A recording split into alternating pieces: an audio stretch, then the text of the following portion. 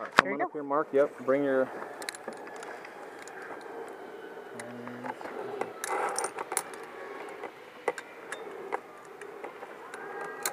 All right, this bridge is pretty fun.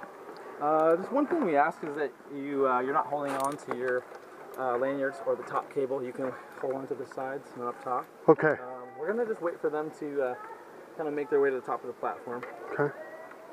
But uh, part of the new uh, challenge course, you kind of see the, the base down there, the, the, the green platform. They uh, Okay. they do a fun little rappel. Um, it's it's a 15 foot. Is that what I heard, Blake? It's a, like a That the bottom platform, it's Yeah. a 45 foot quick drop. quick drop. So you'll yeah? get hooked in. There's a little plank. You'll walk the plank, and then you jump off, and you'll fall for about 20, 15 or 20 feet free fall, and then it'll slowly catch you and drop you to the ground. Oh, okay. pretty cool. So if you Closest want, thing you can do to a bungee without the whole bungee jump. If you want the thrill, that's the that's the way to go. Yeah, it's awesome.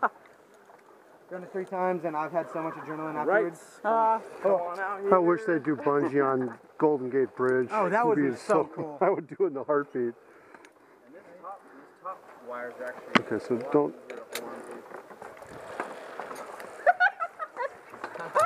yeah, of course do that, right?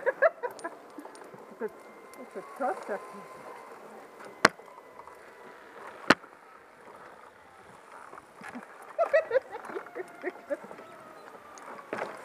So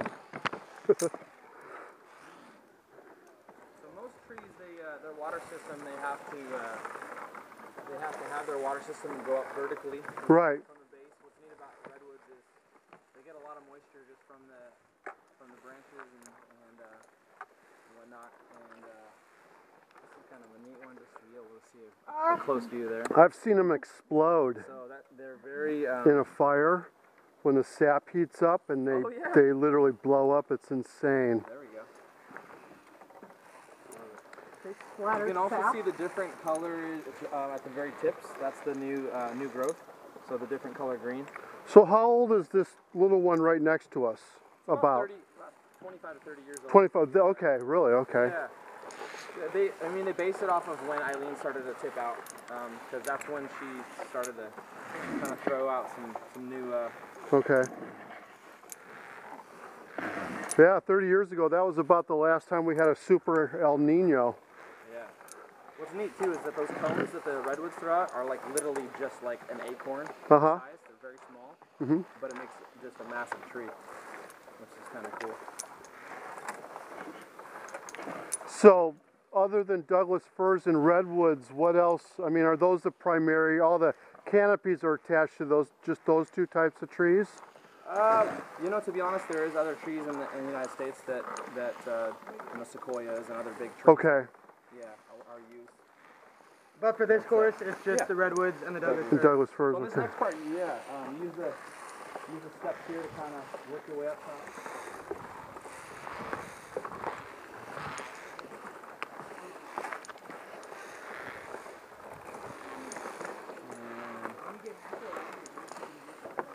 And Usually we'll uh, talk a little more in the middle. Let's mark that. Is there any animals out here? Deer? Yeah, often we do see deer. Yep. Bears.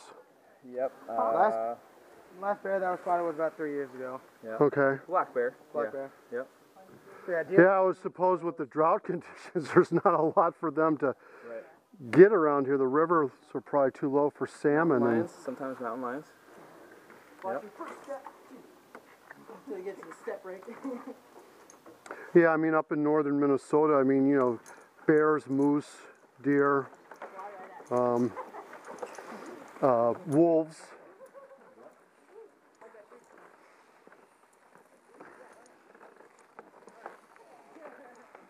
Oh, come on, Carrie. You gotta hug it.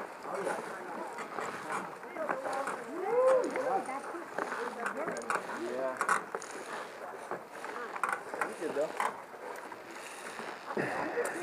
Zip lines in the rain? Is that possible? We do, yeah, we do. We do these zip lines in the rain for sure. Hit by lightning? Nothing. Well, no, we don't do high winds and we don't do lightning. So that's the two two times where we don't operate. So, yeah. But other than that, you bought it, you got it. Rain, shine.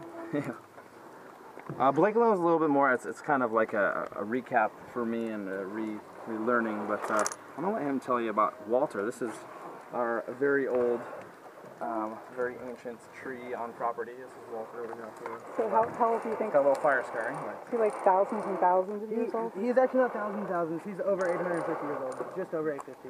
Uh, we had an arborist come out. He did something to the roots. There was a big scientific word for what he called it, but I don't remember the words. Um, yeah, he's over 850 years old. Uh, same thing with Eileen. The his roots started sprout or like showing, so he started falling over. He sprouted up three clones around him. There's two to the right, one in the back. Those three clones keep them upright, keep them fed, pretty much do everything that their sons or clones should do to the old man when time comes. Walter is over about 190 feet tall. Um, he survived a forest fire and a lightning strike. You can see he's kind of burnt going up. Yeah. So Uh, forest fire, what, maybe 60, 70 years ago? Uh, right around then, yeah. It was right around whenever the uh, forest was logged, too. Back in 1906. The burl that's sticking out on the side is worth a lot of money. Those are actually like very expensive. Um, uh, furniture makers would love to get that and put that on the furniture. People come out with two like two people chainsaws and they go out and just chop them off and they can sell it for goggles and goggles of money. So not to see the top, how, how tall is? To be able to see the top of them, we can go right into. No, no, I mean, I mean, is he like three, four, five hundred feet? No, he's, he's only 190 feet tall. Oh, 190, okay. Oh, Uh, the world's tallest tree is Hyperion. He, I don't know the exact height of him, but where Walter ends is where Hyperion's branches begin. okay. so Which he's is about, crazy. he's about two and a half. Oh yeah, two. Yeah, two and a half Walters makes Hyperion. okay. so you stack another Walter on top of Walter, and then another half of Walter. Okay. That's Hyperion. Which you'll be able to see how tall he is when we get to the middle. Yep, yep. Very Cool. interesting. Let me go ahead and uh, transfer some some of this gear here. Walk across. Keep this brain a moving.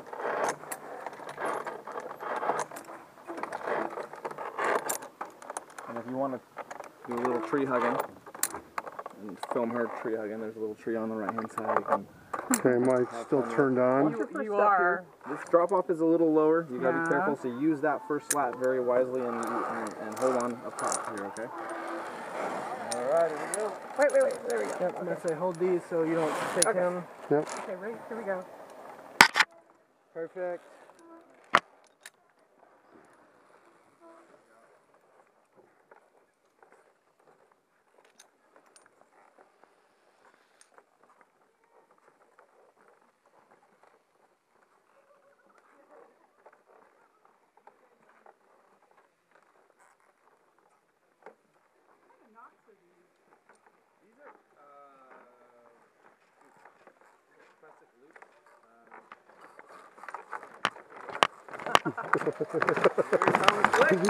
Snap!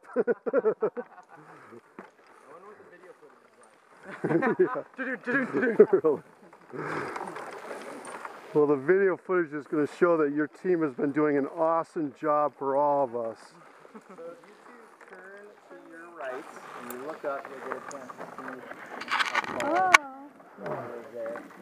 They're very typical where you struck by lightning. And uh, yeah, big, big tree out here. He's probably anticipating the first rains of the season. He looks like a lightning rod. All right, you two come on up here.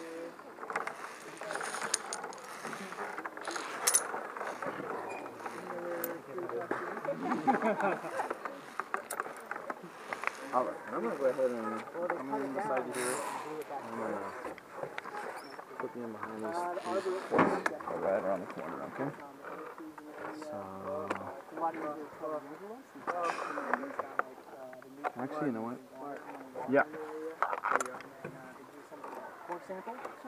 Very small. Oh yeah, he's got the other set. Oh, yeah, perfect. yeah, and that side over there, that's not a hard or a safe point. No, I know. I was trying. I was thinking about how it's. Uh, It's very good for the I guess that's right, because the uh, sweet pads are always on this side, huh? Mm-hmm. Well, it doesn't matter what the sweet side is on. You just don't want to hook them on anything but here. The yeah, no, but here. Yeah, exactly. Yeah.